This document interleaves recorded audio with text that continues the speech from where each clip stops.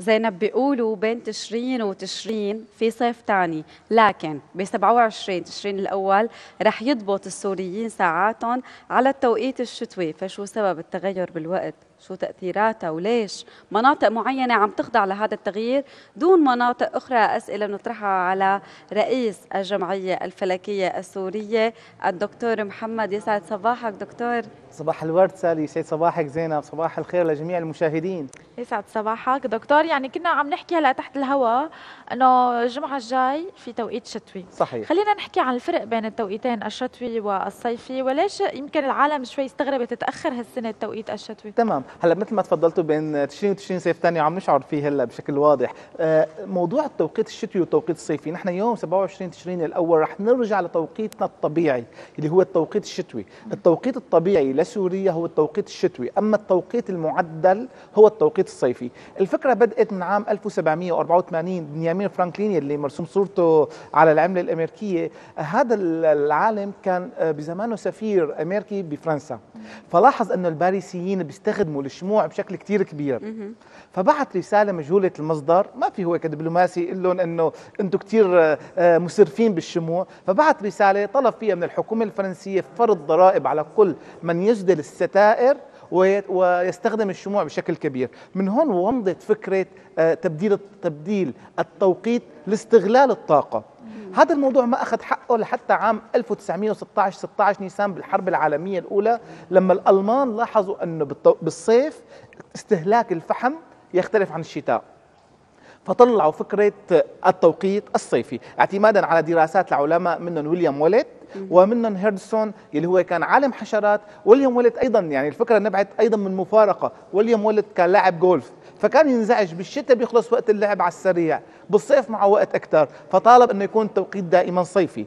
أما هيرتسون فلاحظ انه الكائنات الحية أو الحشرات لها توقيتها الخاص المختلف عن الإنسان. تماما. ساعات نومها ساعات نشاطها من هون بلشت تومض فكرة تغيير التوقيت. أول ما استخدمها الألمان عام 1916 لما لقت هالفكرة نجاح كثير كبير مباشرة بعد عام لحقوا لحق على الألمان لندن فرنسا وبدأت تنتشر هالفكرة بالعالم. مع نهاية الحرب العالمية الأولى. ردت رجعوا سكروا على الفكرة. مع بداية الحرب العالمية الثانية ردوا رجعوا فكرة تغيير التوقيت. توقيت مرتبط بالحروب كان تماما. ليش؟ لأنه في الفكرة بالطاقة.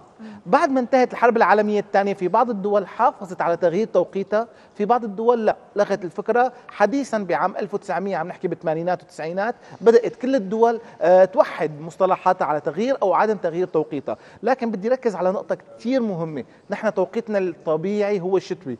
التوقيت المعدل هو الصيفي. أه. يعني ب 27 تشرين الأول رح نرجع لتوقيتنا الطبيعي. لكن أيهما الأفضل الطبيعي أو المعدل؟ هون دكتور السؤال. كنا نسأل عن التأثير آه للتقويمين. يعني مثل ما تفضلت حضرتك آه التأثير للتقويم الطبيعي اللي هو ببلش ب 27 تشرين الأول والتأثير الثاني اللي هو التوقيت الصيفي اللي نحن بنعتمده آه تبعا لتغير الفصول. تمام. هلأ سبب التوقيت سبب تغيير التوقيت هو ميلان محور دوران الأرض 23 درجة ونص. هذا هالميلان بمحور دوران الأرض يجعل أشعة الشمس الساقطة على الأرض يختلف من فصل إلى فصل من شهر إلى شهر. مثل ما بتعرفوا بالاعتدال الخريفي والاعتدال الربيعي يتساوى تقريبا طول الليل والنهار. بعد الاعتدال الخريفي يبدأ الليل بالطول والنهار بالقصر وبالعكس بعد الاعتدال آه، الربيعي يعني مع فصل الصيف بنلاقي نهار طويل والليل قصير مع فصل الشتاء النهار قصير والليل طويل. فبالتالي نحن بنعدل ساعاتنا للاستفادة من ناحية الليل والنهار القصير. لكن إذا نشوف الفوائد والسلبيات أول شيء عندنا موضوع التوقيت. نحن لما نغير توقيتنا اتفقنا نحن عم نعتمد على موضوع الشمس. التوقيت الصيفي هو التوقيت المناسب لأهل المدينة تماما. التوقيت الشتوي هو التوقيت المناسب لأهل الريف تماما. توقيت الصيفي أولا نهار طويل. بالتالي في عندنا نشاط أكثر في عندنا دوام نقدر نعمل فيها نشاط نقدر نتسوق نقدر نروح مثلا نجي. يعني في معنا وقت بعد الدوام مثلا آه، يكون حر. أما بالتوقيت الشتوي بنلاحظ أنه الفترة ما بين انتهاء الدوام وما بين حلول الظلام قصيرة. نعم. بمعنى نحن هلا مثلا بعتم الدنيا بتبدأ غروب الشمس على الساعة 6 بعد 27 تشرين الأول بتصير غروب الشمس على الساعة 5 نعم. فبالتالي ينتهي يومنا تقريبا على الساعة 5 أما الآن ينتهي يومنا الساعة 6 معنا ساعة. بيقصر. بيقصر. حوادث السير تزداد بالتوقيت الشتوي. السبب في كثير ناس تنزعج من أضواء السيارات والقيادة ليلا. بالتالي هي الحوادث كلها بتقول انه نسبة القيادة بالشتاء ليلا أكثر منها بالصيف ليلا. أهم شيء وأهم معيار لنا وهو موجهنا الطاقة. الدراسات كلها موجودة آه، أثبتت الدراسات انه استهلاك التيار الكهربائي بالشتاء أكثر منه بالصيف بغض النظر عن التدفئه نحن عم نحكي على إنارة. ليش؟ نحن لما تعتم الدنيا الساعة 5 بدنا نشعل الضوء. شعلناه الساعة 5 بينما لما تعتم الدنيا الساعة 6 كسبنا ساعة. مؤسسات الحكومية إلى آخره إلى آخره كلها هي عم تكسب طاقة. اذا عندنا المعيار الأساسي بالتوقيت الصيفي هو الطاقة. هلأ مشاكل تغيير التوقيت مشاكل كثير كبيرة. مثلا نحن بتلاحظوا إنه بدنا يومين ثلاثة لحتى ها نتأقلم ما بين تغيير التوقيتين. وياما في ناس تتحجج بتأخير مواعيدها على تغيير التوقيت. لأنه فيزيولوجية الإنسان بدها وقت لحتى تتأقلم مع تغيير التوقيت. اثنين صار في حادثة من الفترة الماضية صارت بألمانيا. الحديد بده ساعة ليبرد ليتحول لفولاذ. إذا ما تعرض لتبريد ساعة بينفجر وبيعمل كارثة. بالفعل بسبب تغيير التوقيت ما تعرض الحديد بألمانيا للتبريد ساعة فصار في كارثة بألمانيا صار في انفجار الحديد وسبب ضحايا. حجز الطيران. بتغيير التوقيت تمام. كمان بسبب إشكاليات. ليش؟ صحيح. مثلا نحن بسوريا ب 27 تشرين الأول بنغير التوقيت لكن بغير دول مو ب 27 تشرين الأول صحيح. بغير وقت. فبالتالي في صار كل دولة عندها معيار خاص فيها. نحن بسوريا آخر أسبوع بآخر بشهر آذار وآخر أسبوع بشهر تشرين الأول. فبالتالي نحن عندنا هذا التوقيت بيتغير فيه الوقت. مثلا بلبنان لا. بلبنان مثلا أول أسبوع من تشرين اول أول أسبوع من آذار مثلا. بدولة ثانية يختلف. فالدول جمعت هالمعلومات بالإضافة للمعلومات عن الطاقة بالإضافة للمعلومات عن السياحة. نعم. وأثبت حديثا أنه ميزانية سياحة أو عائد المنتجعات السياحية وعائد مشاريع سياحية بالصيف أكثر منه بالشتاء يعني بالتوقيت الصيفي أكثر منه بالشتاء مشان هيك معظم دول العالم يلي كانت تغير تغير توقيتها بين الصيف والشتاء اعتمدت على توقيت واحد اللي هو التوقيت المعدل. اللي هو التوقيت الصيفي. وليس الشتوي. يعني ما اعتمدت على توقيتها الحقيقي لا رجعت على توقيتها الصيفي المعدل. فكمان نحن هون عم نحامل آه، نعمل حملة لحتى نحن نقدر آه، نعطي التفاصيل العلمية لموضوع التوقيت الصيفي والتوقيت الشتوي ونشوف أهمية التوقيت الصيفي. يعني نحن قلنا بسوريا اليوم نحن عندنا بتعرفوا الطاقة هي أهم شيء. اليوم الأجدى قلنا بسوريا أن نبقى على التوقيت الصيفي. طيب هلأ بيجينا الاعتراضات. الاعتراضات بتقول طيب طلاب المدارس بالتوقيت الصيفي يخرجون إلى مدرسة. أنا آسف آه، سالي بدك تسأليني؟ لا لا خذ راحتك. آه، المدارس تمام. المدارس عم يطلعوا الطلاب بيطلعوا بتلاقوا الدنيا عاتمة. طيب هي مشكلة التوقيت الصيفي. الحل الحل بكل بساطة انه نأخر دوام طلاب المدارس. بالفعل عندنا إشكالية كمان بنحلها هي خروج طلاب المدارس والموظفين بنفس الوقت على أعمالهم ومدارسهم. هذا بيسبب زحمة سير. الأب دوبه يلحق يوصل اولاده على المدارس ويلحق على شغله. فإذا حلينا هالإشكالية وعدلنا بس بنصف ساعة لمواقيت المدارس ومواقيت الموظفين بنكسب نحن التوقيت الصيفي إيجابيات التوقيت الصيفي وبنحل عدة مشاكل سوا بس بهالحل. طيب كيف نحن بنقدر نعمل هالشيء بكل بساطة بنجيب بيانات من وزارة الكهرباء من وزارة السياحة ندرسها وعلى أساسها بيطلع قرار رئاسة مجلس الوزراء بتعديل نعم. أو عدم تعديل التوقيت. يعني انت اعطيت هلا حل كمان لمشكله عم بيعانوا منها كل الأهالي. يا دكتور خلينا نحكي كمان عن المناطق اللي ما فيها تغيير آه، بالتوقيت آه، شو هي إيجابياتها وسلبياتها. كثير حلو. مثل ما ك... مثل ما نحن بنعرف إنه التوقيت الصيفي له إيجابيات وسلبيات والشتوي كمان. بالضبط. هلا أول شيء بعد مدار السرطان وبعد مدار الجدي لا تغيير التوقيت. على خط الاستواء لا تغيير على التوقيت بكل بساطة لأنه خط الاستواء دائما يتساوى الليل والنهار. اذا ما بين مداري السرطان والجدي ارتفاعا أو انخفاضا هي أكثر دول تغير بتوقيتها. كان معظم دول العالم بتغير بتوقيتها. لكن بعد ما لاحظوا الإيجابيات والسلبيات مثل ما تفضلتي زينب على موضوع تغيير التوقيت لا مثلا مصر كانت تغير توقيتها هلأ ثبتت على التوقيت الصيفي. روسيا كانت تغير توقيتها هلأ ثبتت على التوقيت المعدل الصيفي. اليوم نحن بقيانين سوريا العراق الأردن مثلا الأردن بتوقع السنة الماضية أيضا لغت تغيير التوقيت. فاذا هالبضع دول هي اللي بتغير توقيتها. إضافة لبعض آه، الدول اللي نحن عم نحكي بأمريكا آه، بعض الولايات وليس دول بعض الولايات بأمريكا. يعني مو كل الولايات المتحدة الأمريكية بالضبط مو كلها. بعض الولايات فقط تقوم بتغيير توقيتها. اليوم هالدول لا يتجاوز عددها العشرة أو 15 دولة. معظم الدول ثبتت على توقيت محدد اللي هو التوقيت الصيفي. للاستفادة برجع بقول لكم من موضوع الطاقة. طاقة. يعني اليوم نحن معظم حياتنا هي مدنية. يعني سواء بالمدينة أو بالأرياف حتى بالأرياف صاروا يعتمدوا على المدينة. أسواق مولات أجهزة رياضة حركة.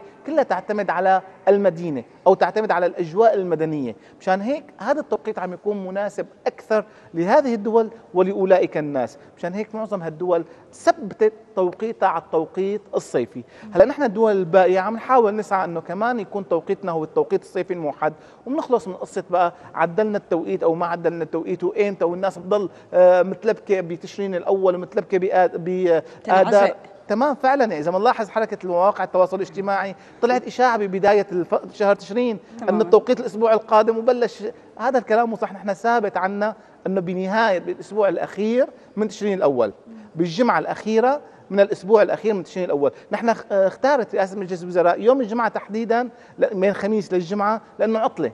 مشان الناس إحنا ما عندنا عطله نحن عندنا مشكلة بالبيت إنتوا الله يعينكم يعني عم تشوف أخي رامي كيف قاعد وعم يعمل شغله يعني بالطبع إنتوا دائما ضغط شغل الله يعطيكم العافية. فهي مشكلة إنتوا حتعانوا منها لتتأقلموا. يعني يوم الجمعة إنتوا دائما هو يوم الجمعة حتلاحظوا إنه كيف حتفيقوا تعبانين. تعبانين لأنه في يوم ساعة نوم راحت عليكم. تماما هي المشكلة اللي نحن عم نحاول ندقق عليها. هي إحدى المشاكل اللي بتظهر معنا باختلاف التوقيت اللي هو الحالة النفسية للإنسان. نعم. يعني الإنسان أساسا ما كان في شيء اسمه تغيير توقيت. هذا تغيير التوقيت نتج عن حرب عالمية. نتج عن حالة معقول دكتور المنبه الفيزيولوجي له علاقة ب... ب... حتى ب... بالساعات المتأخر اللي بتفي بفيق فيها الإنسان. 100% سالي. 100% الإنسان ابن بيئته. فبالتالي تغيير النوم عليه تغيير التوقيت هذا كله بيأثر على الحالة النفسية للإنسان مو بس على الحالة الفيزيولوجية بالضبط الحالة الفيزيولوجية عليها الحالة النفسية. يعني في ناس بتحسيهم بالشتاء بينبسطوا أكثر بيرتاحوا أكثر متأقلمين مع التوقيت الشتوي. أما الصيفي لا بالعكس في ناس ما بتتأقلم مع آه، التوقيت الصيفي. والإنسان نفسه لما يختلف معه التوقيت يختلف معه العقل الباطني. فبالتالي يختلف توقيت النوم عنده فبتصير عنده التوازن مختل فبيعاني من هالإشكالية. وبده يومين ثلاثة على الأقل هي الإنسان الطبيعي لحتى ها يرجع يتأقلم مع التوقيت الجديد. وكلنا زينب بيفيق الصبح يعني يقدر يفيق الصبح وخصوصي إيه. إذا تأخر مثلا على على شغله أو شيء فهذا الشيء طبيعي يعني. تماما لأنه مشكلة مشكلة عنده. بجوز دماغه الباطني ما ما يتقبل. انه التوقيت يتغير. نعم. فيضل آه، مصمم على التوقيت الماضي. دكتور خلينا نحكي لك على بما أنه عم نحكي على التوقيت آه، الشتوي اللي بده يصير الجمعة الجاية إن شاء الله. آه، يعني كيف متوقعين يكون هطولات الأمطار البرد السنة قبل ما نفوت بموضوع ثاني تمام. هلأ بالمختصر الموضوع الشتاء هالسنة مثل ما عم نلاحظ لهلأ لساتنا بالصيف. يعني صيف. صيف بين تشرين وتشرين صيف ثاني آه نحن نوهنا بلقاءاتنا الماضية إنه هالشتاء غريب حيكون. السبب هو الاحتباس الحراري العالي إضافة لهالشيء اللي عم نلاحظه على الشمس زيادة البقعة الشمسية على الشمس. هذا يعني أنه نحن مثل ما قلنا سابقا وفق الدراسات العالمية أنه حيكون عندنا الصيف لساته مستمر الشتاء قصير وقاسي. لكن الصيف ممتد أكثر. حنلاحظ أنه الشتوية رح تكون ثقيلة لكن قصيرة جدا. يعني ممكن شهر 11 يكون كمان شو آه نسبيا فيك تقولي. فيك تقولي نسبيا لكن بالنهاية تنخفض درجات الحرارة لكن ليس كما هو المتوقع. نعم. يعني ليس هو بتشرين الثاني. راح تنخفض درجة الحرارة راح تشعر بالبرد بس مو مثل المعدل. وحتى حنلاحظ إنه كميات الأمطار والثلوج عم دقي على الثلوج راح تنزل لكن فترات محددة. أوه. هذا كله بسبب ما يعرف باسم الاحتباس الحراري يلي الإنسان كان عم يلعب بالنار مثل ما عم يقولوا بالفترة الماضية وهلأ بلش يحرق اصابيعه السبب تماما إنه اللعب بنسبه غاز ثاني أكسيد الكربون مو لعبة سهلة. هالانبعاثات الغازية ما كانت لعبة سهلة. الخطأ الكبير اللي ارتكبه الإنسان سواء بالتلاعب بالقطبين أو بتلاعب بنسبة الثلوج أو بالتجارب على المناخ أو بإطلاق المعامل والمصانع لغاز ثاني أكسيد الكربون كلها هلأ بلشت آه، تظهر تأثيرها. نلاحظ إنه 2015 و16 و17 ثلاث سنوات على التوالي سجل بالعالم أعلى درجة حرارة بالعالم. مسجلة أعلى درجة حرارة مسجلة صيفا. طيب هذا الشيء شو حيعمل؟ هذا الشيء رح يزداد ويزداد ويزداد لنصل لحالة إنه الحرارة ما عاد تحتمل الأرض. فبنتحول من حرارة إلى عصر جليدي مصغر. عصر جليدي مصغر يعني عندنا دول كثير ما عاد نشهدها. يعني متوقع إذا استمر الوضع على ما هو عليه نيويورك لندن بعام 2050 تختفي من الخارطة. نعم. عم أحكي كلام علمي ودقيق ومدروس. هذا كلام مو بس كلامي هذا كلام جلساتنا بالأمم المتحدة باجتماعاتنا بمؤتمراتنا. اليوم صار العلماء عم يناشدوا السياسيين حرصا على المناخ الأرضي. وإلا الكارثة كبيرة، نحن مدارنا أو موقع سوريا هي بقلب العالم مثل ما بيقولوا على حوالين مدار السرطان، بالتالي تأثيرنا الأقل فعلا، لكن خلينا نطلع على الدول يلي قريبة من القطبين هي تأثيرها الأكبر. هي اللي رح تغرق بسبب ذوبان الثلوج. هي رح تعاني أكثر ما تعاني من هذا الاحتباس الحراري. بالصين سالي زينب بحطوا شاشات بالطريق ليشوفوا الناس غروب الشمس. حلو. لأنه ما في عندهم غروب من الدخان ومن التلوث. ما بالمكسيك في أوقات محددة بالشهر بيحطوا عبوات الأكسجين ما بيقدروا يطلعوا بدون عبوات أكسجين. هذا كله من التلوث من الاحتباس الحراري. فنحن مقبلين على كارثة حقيقية إن لم يتم درء مخاطر هذه آه، الفوضى المناخية. نعم. نعم. يعني دكتور محمد دائما أنت بتفيدنا بمعلومات بمعلومات. هيك العالم بتستناها معلومات ما الكل بيعرفها. بدنا نتشكر وجودك معنا.